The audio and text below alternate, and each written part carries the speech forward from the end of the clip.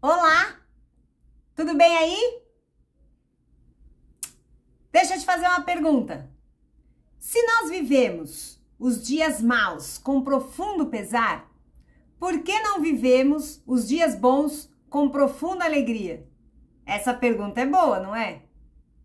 Você sabe, todos nós temos a tendência de supervalorizar os dramas, os problemas, as tragédias, mas as bênçãos a graça, as vitórias que recebemos, já não damos muita importância.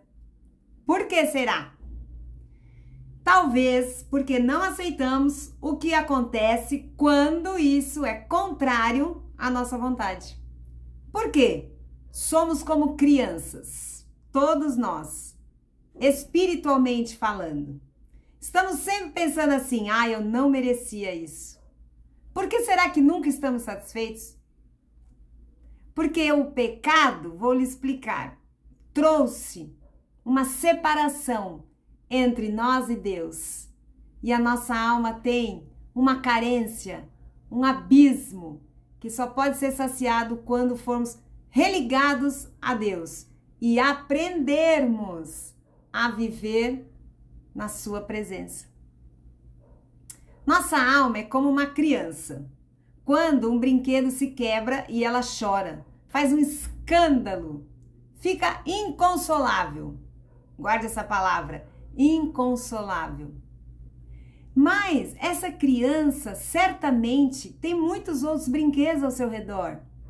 E ela ainda vai ganhar muitos outros ao longo da vida e vai ter tantas outras boas experiências. Mas ela não quer saber ela ficou parada ali naquele momento em que o brinquedo quebrou. Só que eu preciso te dizer uma coisa: nós não somos mais crianças, nem fisicamente, e não deveríamos ser espiritual e emocionalmente. Você e eu podemos parar de chorar.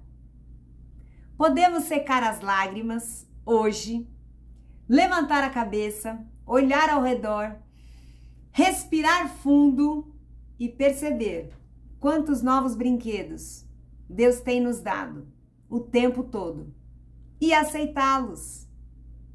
É exatamente o que diz o salmista no Salmo 30. Olha que declaração linda dos versículos 1 a 5. Ó oh, Senhor, eu te louvo, eu me regozijo em ti, porque o Senhor me socorreu. Todos nós fomos socorridos em todo o tempo. Será que todos nós louvamos a Deus com alegria? Ele diz no versículo 2: Senhor, eu gritei pedindo ajuda e tu me ajudaste. Você já pediu ajuda para Deus e para as pessoas que podem te ajudar? Já pediu ajuda e recebeu? Faça isso. Faça isso hoje. No versículo 3 ele diz assim: Obrigada porque preservaste a minha vida. Você tem agradecido por estar vivo, literalmente vivo? Ele diz no versículo 4: Cantem louvores a Deus. Sabe por quê? Porque vocês são o povo de Deus, fiel a Ele. Sabe por que mais? Porque a sua ira dura só um momento, mas a sua bondade é para toda a vida. E de fato é para toda a vida, essa terrena e a vida eterna nós ainda nem recebemos o melhor brinquedo, que é a vida no paraíso com Deus. Versículo 5. O mais importante, guarde isso. Devemos louvar a Deus porque o choro pode durar a noite inteira. E esse noite inteira pode significar semanas, meses, anos, mas a alegria vem pela manhã. Ele está afirmando, isso está na palavra de Deus, isso é verdade. A alegria vem mas você a recebe? Isso é fisiológico.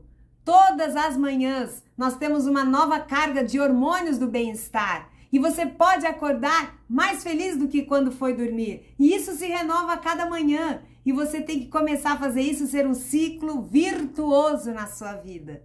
É possível. Uh, essa é uma decisão que está nas suas mãos. Eu diria, vá em frente.